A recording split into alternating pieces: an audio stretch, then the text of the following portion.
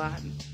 I would like to begin by introducing myself, Claire Finan. I'm the program coordinator here at Park Towne Place and the programming director at InLiquid. On behalf of Park Towne Place and InLiquid, we'd like to humbly acknowledge the Lenape peoples on whose ancestral homelands we gather, as well as the diverse and vibrant Native communities who make their homes here today. Thank you all for joining us for an artist talk with Ahmed Salvador. This talk is brought to you by InLiquid and Park Towne Place Museum District Residences, a premier Air Communities property. Situated in the heart of the Benjamin Franklin Parkway, Park Towne Place has dedicated themselves to making the arts an amenity. In addition to being surrounded by neighboring arts institutions, Park Towne Place has brought the arts inside their buildings through their rich permanent collection, regular art workshops, classes, events, artist talks, and three separate gallery spaces for rotational temporary exhibition. The current temporary exhibition is Hygge, which highlights the work of eight artists whose work in the show explores themes of home, its contents, its structures, and how it reflects upon our own identities. Each of the included artists use these ideas as launching points to deeper conversations of identity, memory, and value systems. Their work is all undeniably full of Hygge. Included in Hygge, which is, you can see uh, some of the show on the other screen, is the work of Ahmed Salvador, who is here with us tonight. Ahmed holds his BFA in photography from the University of the Arts here in Philadelphia, and an MFA in photography from Cranbrook Academy of Art in Bloomingfield Hills, Michigan. In addition to his photographic work, he is the exhibitions coordinator at the Philadelphia International Airport and a photography instructor at the Fleisher Art Memorial. He has shown his work, both solo and collaborative, in various solo and group shows. Tonight, Ahmed will be discussing his process, the use and manipulation of traditional darkroom processes, as well as his inspirations and the theme of home in his work. During these topics, please feel free to enter any questions that you have through the chat function, and I can ask them on your behalf. At the end of the conversation, there will be a dedicated time for audience members to turn on their microphones and cameras and ask questions themselves. As a warning, Ahmed will be sharing some videos during his presentation that contain flashing images. This may cause discomfort or trigger seizures for people with photosensitive epilepsy. We'll be sure to warn you before these play. So without further ado, welcome Ahmed. Hi, everyone. Uh, thank you so much. The umbrella title for a lot of the work that I have in the Hygge exhibition uh, is uh, called Home and Other Stations.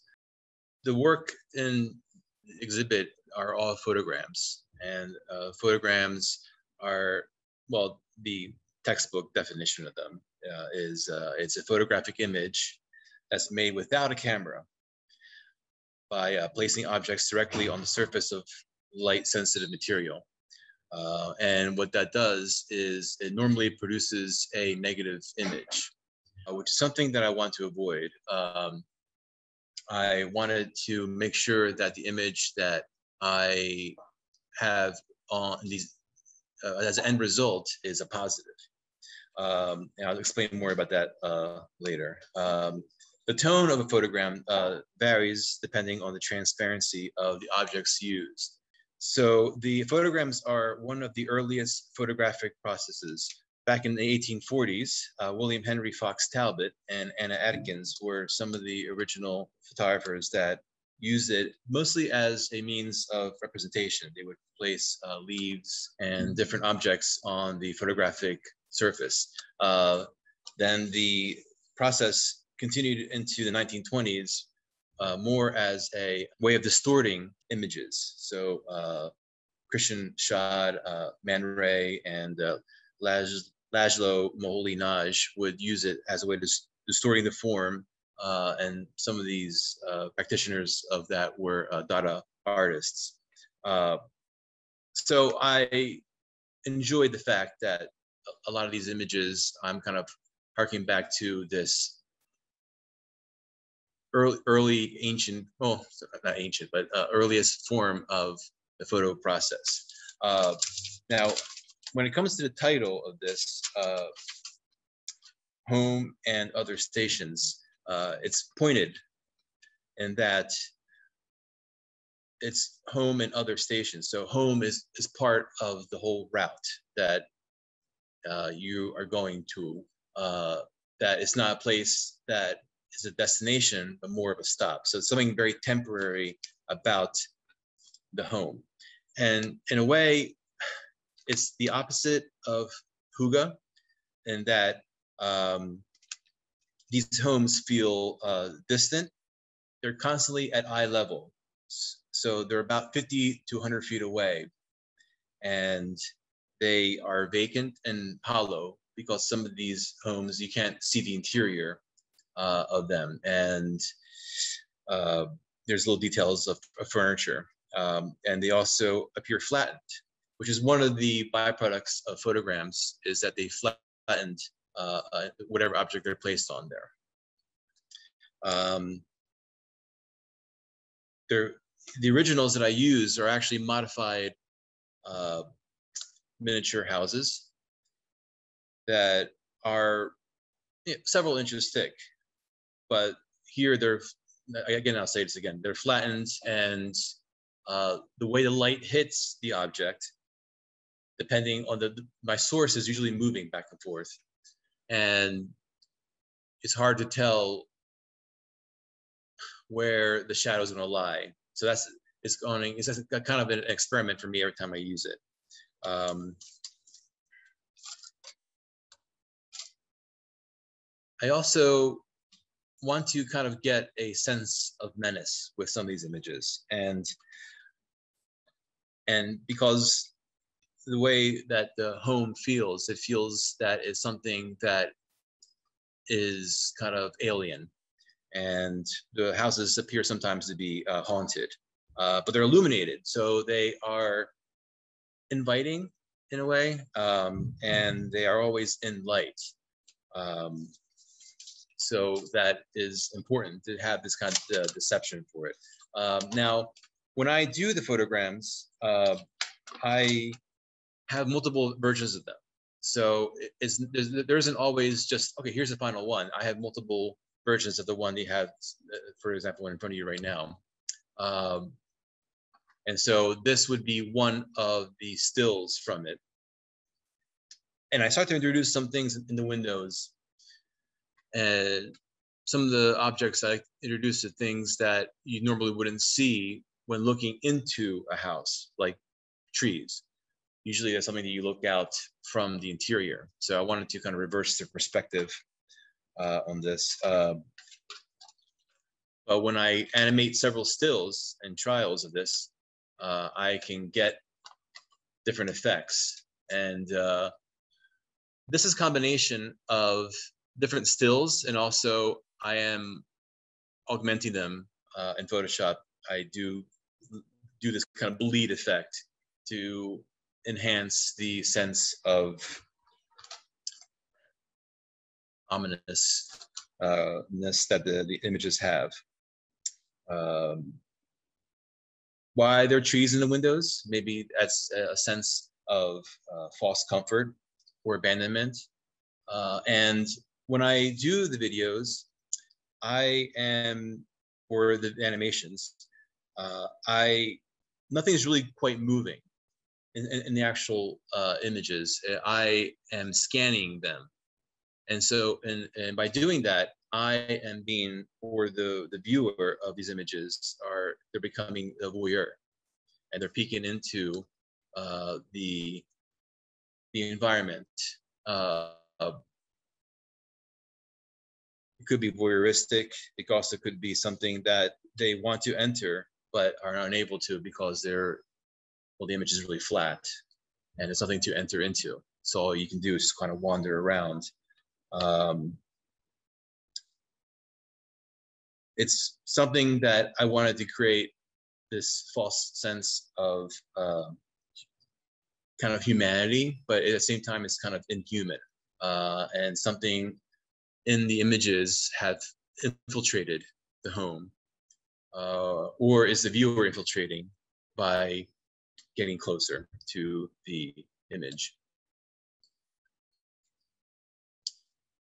So here's another uh, still. Uh, again, uh, when I my source of light when I do the photograms varies. So you have different degrees of shadow um, illuminating inside the house, outside the house, project, projecting uh, uh, the, the, shadow. Uh, here is a couple. Here are a couple stills that I would animate. Uh, different colors, different qualities of light, and uh, one thing I wanted to bring up uh, is that these are done with the RA4 process, which is originally Kodak's name for the chemical process to make color prints. So I actually teach this at Fleisher Art Memorial and is a color uh, darkroom uh, class. So I, I, teach it and I also uh, practice it. Um, and in a way, this is one of the photo processes that is most in danger of disappearing is traditional color photography, which has been uh, kind of usurped by uh, digital.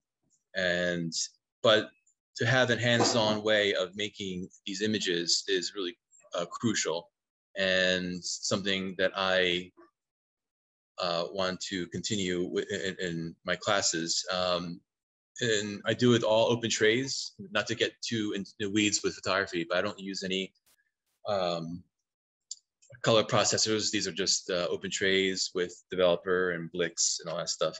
Um, but it's, it's, crucial to kind of uh, do it and get your hands dirty, but with gloves on, of course. Um, so there's another still. I have another one. And then when I combine all three of the ones you just saw, so one, two, three, these comprise uh, the, the animation. So multiple stills going together and a couple little flashing things here and there. But I zoom in and I analyze.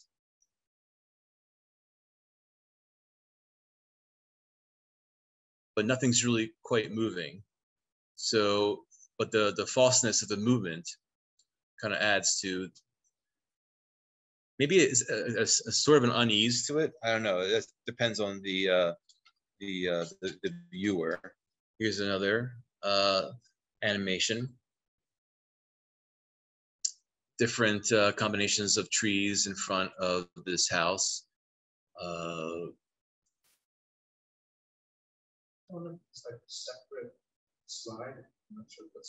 yes. So uh, if I if I were to go back again to yes. So uh, yes, so the actual print, it looks like this. So the 8 by 10 and um, different color filters, yes. Um, and but they're the same house. So the ratio is the same. And then when I combine them all, it's kind of like looking at a flip book, uh, and animating a flip book of all these images and creates that effect. Does that, does that answer your question? Yeah. Um, is this a kind of animation for a cartoon or something? What's the purpose of this? That's a good question. Uh, I think I think the purpose of this is to see, make sure I'm on the. I would like to ultimately, and it's kind of um, is to make a feature film of all these animations. Uh, and the idea is to have an, a narration uh, supplied over the uh, film that doesn't quite go with the images, but maybe tells a story.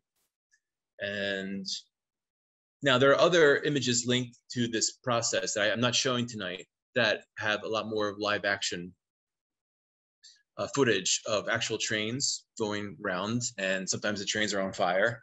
Sometimes the trains are coupled with real uh, uh, locomotives or diesels, um, and but some kind of story is being told there, but I'm not sure what it is yet. But I think the narration will clear it up. Um, that answers the question a little bit, you know.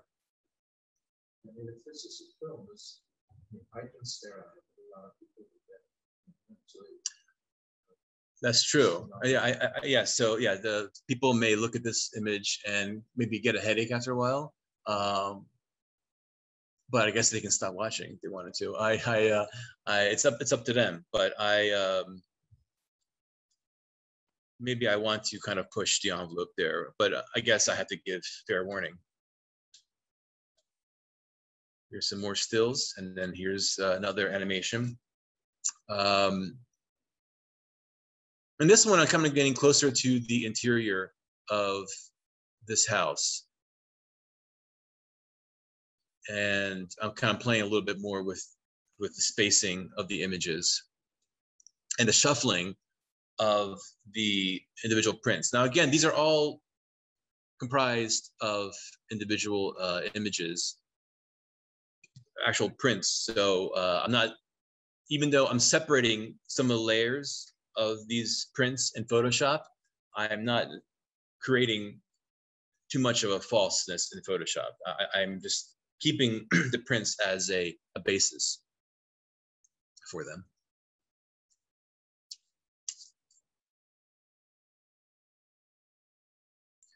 Um, here is another video. Uh, this one includes some more trees in there. And uh, the trees are nice because I think uh, when, when you do photograms of miniature trees, they kind of lend themselves nicely to a lot of light bleeding in uh, different areas and creating a nice kind of um, shading there. But um, does anybody have any other questions? on- on the- Not so far. I have a question. Yes. So who is a video artist or filmmaker in your life that really inspired you towards this type of film? Or this flashy image sort of over and over again? And can you repeat the question? Lucy, Yes, Andrea? yes. What uh, filmmaker in my life uh, or filmmakers If there is one. have inspired me with uh, to do this style of animation? And I think uh, there's a couple things. Um, I could just kind of go backwards a little bit. Um, when it comes to animating all these disparate kind of, excuse me one second. When it comes to animating all these disparate uh, videos together and that don't really combine as a whole, the, the, fragments should combine if if they're bracketed by a um, uh, a narration. Uh, that reminds that I'm inspired by Chris Marker's uh, Sunless or Sans Soleil, uh, and that uh, film was comprised of a series of short films that were ostensibly mailed from a filmmaker to a narrator, and narrating the uh, films to the viewer and that was really a, a big inspiration. Um, and there's a lot of structural film from the 70s that uh, was based on false movement. Uh, Serene Velocity is one where there's an image of a, of a hallway and the camera is either jumping forward or backward in time as it's zooming to create a false sense of movement. And I really am intrigued by, by that. Um, yeah that's those are, those are two you know out of many you know um, but uh, I can go backwards and kind of show you more stills.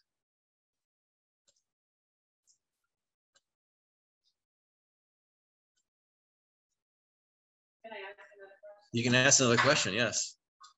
So I noticed that in your arts, you know, you have these repetitive images of houses and all different kinds of ambient lighting and foliage and trees and porches and you know, a lot of references to trains, I believe you said. What is it to you? Because I'm an artist too, and I get compelled by certain imagery, almost obsessive with it, that I are themes that repeat in my own artwork. What is it about these specific images that are so compelling for you that sort of dri- drives the work? so the question is, why do these series of images? What what about these images? The houses, the trains, the um, the, the trees. Uh, do I find so compelling that I want to repeat and reanalyze them? I guess. Yes, because in my understanding, you- you've been working with these types of images for quite a while in your, in your personal artwork. Yeah, yeah. Uh, I believe, well, in a way, um, it is the idea of home, and which is, it is about Hygge, about the show, but it's also not about Hygge. And so it's a, it's about analyzing the home and everything around it, and analyzing the that maybe sometimes it could be false, the comfort of it. Sometimes it could be something that I also want to create recreate the environment falsely, and as if it was a memory of something. And I think that is why I return to it. I also like working with miniatures. I like working with photograms, and I like the idea that I don't uh, have to work with uh, a camera and a lens. And people tend to think that with photography, uh, you have to have a nice camera or work with a camera. And I feel that photography for me, and I, and photography is very important to me. However, I don't want to work with the camera that uh, that often, uh, and I kind of want to create images that are kind of. I want to set up roadblocks for myself to create an environment without having to actually go to the environment, and maybe that set of restrictions uh, uh, helps me in a way.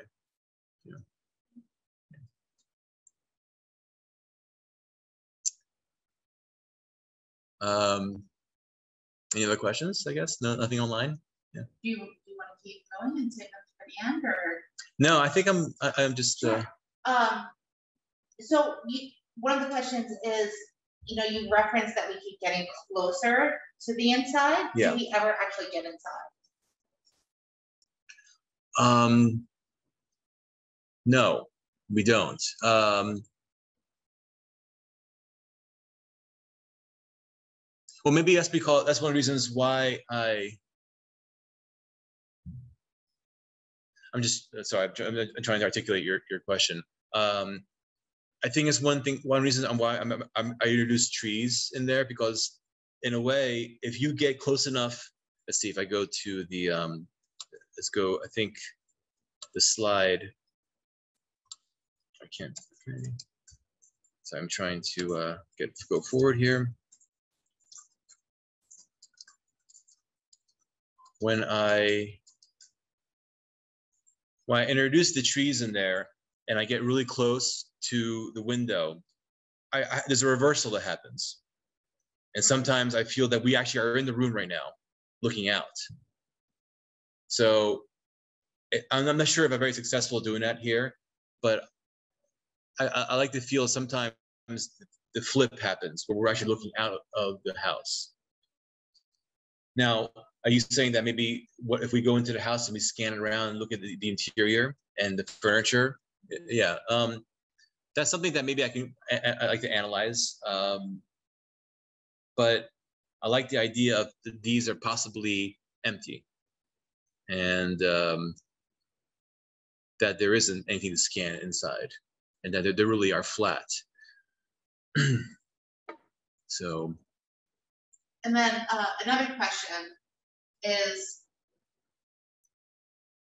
you are a trained photographer, um, and now you have an interest in film. Uh, and a person is wondering if film's kind of status as a dying medium plays into the narrative or the hypothetical film at all. Um, and is that one of the things that attracts you to these fields? Yes, it does. And I, I believe that's one of the reasons why I'm so drawn to color photography is that traditional color photography, which I used to do easily when I was in undergrad, uh, is now something that is increasingly more difficult to to obtain the chemistry. Uh, even though I teach it, uh, sometimes I feel that my days are numbered in terms of uh, me actually getting the material that I need that I would use uh, but I will have to probably recreate the chemistry myself eventually. Uh, so it's important for me, not, not because it's a dying medium, uh, but it's important to me to do it in this fashion uh, because it's something that's that um, I feel I, I can probably scan these houses, but I don't feel I will get the same quality. And also I wouldn't get the same kind of randomness that I'm, I'm used to. And um, I like the fact that I have, you know, so I work, I work quickly when I'm doing these. And so I, I don't, I don't like to labor too much on what I'm going to get, but um, certain kind of random processes are important to me. And this enables that.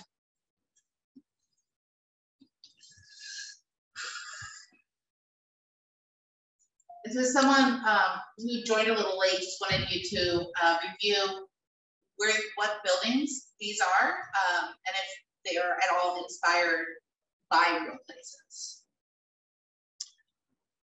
Well, I think they're uh, real buildings. So uh, they are all miniatures. So the originals are little, little, little houses, and um, a lot of them are uh, made for uh, model railroading. So, um, and they're again, they're modified to get the result that I want. Uh, but but are they miniatures of an actual place, or mm-hmm. they're like okay. they're, they're, miniatures of generic ranch uh, houses, Cape Cod Victorian houses, you know, uh, and just made so they can provide. Now, here's another kind of thing where I'm taking a lot of materials that are used in model railroading, but I'm doing it in a very perverse way where I am taking them and when when a lot of model railroaders create an environment, they're always creating an environment that is very much a memory of something that's wholesome for the most part, or a an exact duplicate of this space at this time. And there's never anything that is that model railroaders do that is out of joint but the materials that I uh, uh, that they use, I, I, I, find fascinating, and and by using them and I subvert them, I kind of negate the whole sense of this wholesome kind of diorama that they that they uh, are are using them for. Some people may not find these menacing, but you know maybe it's maybe it's not menacing. I don't know, but I kind of play into that I kind of play into the, but I, um, I'm not sure if they necessarily are, you know, maybe a little bit. Yeah. So, uh, not really a question, but a, a, comment that I think is interesting. Um, is the train element makes one think of early films uh, that contain trains. Uh, and when they screened these early films, people thought that the actors were about to get run over. Oh yeah, uh, yeah. And that there is some similarities between the kind of cluttering of, of your films and yeah. early black and white films. I, th- I yeah, and I that's and interesting. Yeah, I mean, I think there's another tale. I'm not sure this is how true this is. That when impressionist paintings where first came about, that people weren't sure how to read an impressionist painting because it was so kind of foreign. Uh, and then when the um, the film that you're that you're uh, mentioning, uh, when it came right at the viewer, they thought that something real was coming at them. Um, yes, if I create that same sense of you know danger, then yeah, I, I'm sure. Yeah, I'm trying to do that. Does that answer the question? Uh, it wasn't really. No, it wasn't a question. Yeah, it was. It was more of a comment. Well, um, I do want to go ahead and use resume. I just wanted to yeah. thank uh, InLiquid and and the whole organization uh, for uh, having me be a part of this exhibition and also having me be here for this talk. Thank you so much. And uh, thank you everyone for uh, showing up. I see a couple familiar names, but um, thank you so much. So I want to thank Ahmed uh, for joining us tonight. Uh, we are at Park Towne Place's campus, uh, so this is a little bit of a hybrid talk. Um, you know, and thank you to our virtual audience for for sticking with us. Um, you know, thank you, Ahmed, for for being here. We will have to stop here for tonight. Um, for all of you who have not seen the show Hygge in person, we invite you to come to Park Towne Place's campus and do so. You can always uh, check out our website at liquid.org to find out how to do that and more information about the show. And I hope to see all of you in person again soon.